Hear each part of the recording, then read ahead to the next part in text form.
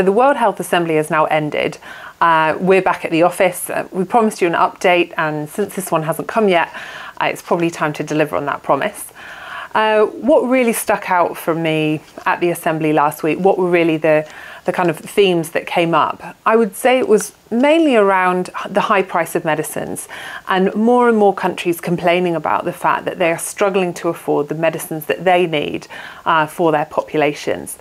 And it's interesting because this came from all sorts of income groups, right from the most poor countries, which we would expect to see those problems, but also from many middle income countries and actually some of the countries that we might consider to be to be high income or rich countries. It's really an across the board problem.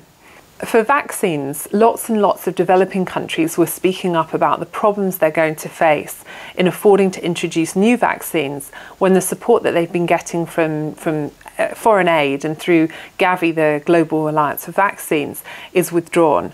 Um, because these vaccines are very expensive and without support, they're, they're really going to struggle these countries collectively made a request to the newly elected leader of the, leader of the WHO, Dr. Tedros, asking for WHO support in accessing affordable vaccines so that they can uh, make sure that all their kids get a fair shot.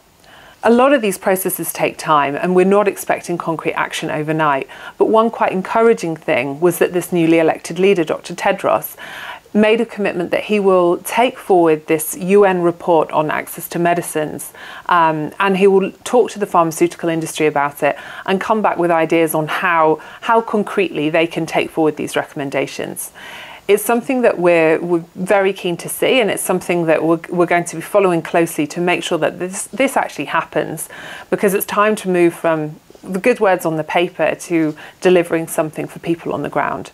And at the end of the day, we all need affordable medicines. And hopefully, if WHO's new leadership takes us in the right direction, this will be something that we'll see progress on in the coming years.